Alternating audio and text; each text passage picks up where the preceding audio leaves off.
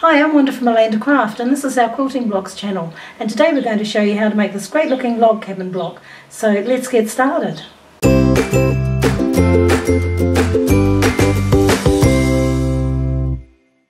To make this block you need some strips of fabric in various sizes.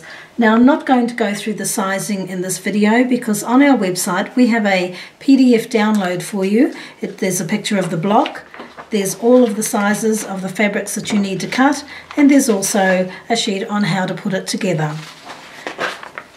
Okay, so the first thing we want to do is lay out our pieces the same as we have them in the picture here.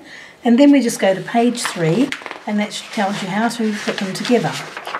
So this is block one, and this is block two. So what we do is we take those two blocks, lay one on top of the other, and we're going to sew with a quarter inch seam. Now what some people do is they just grab bits of fabric and they place them down and sew them on and there's nothing wrong with that, you can do that, and then they trim them after. But it can lead to warping and distortion. So if you cut your, your pieces exactly as we've asked you to, then you'll find that this block will come together beautifully and there'll be none of that distortion.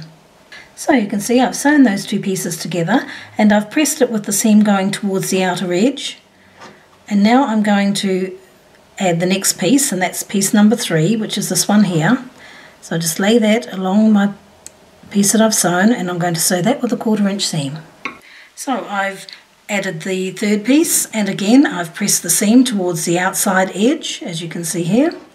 And now I'm just going to add piece number four which is number four on my pattern. I'm going to lay that down there and sew it with a quarter inch seam so I've sewn that piece on and I've pressed the seam towards the outside and now I'm going to put the next piece on which is piece number 5 in my pattern. Just lay that over, sew with a quarter inch seam. Now what I'm going to do is I'm going to continue following the pattern until all my pieces have sewn together. So there we are, it's all finished and I've just put it together following our pattern. Nice and quick and easy. So if you've enjoyed this tutorial, give us a thumbs up and subscribe to our channel. Don't forget to catch us on uh, Facebook and Pinterest.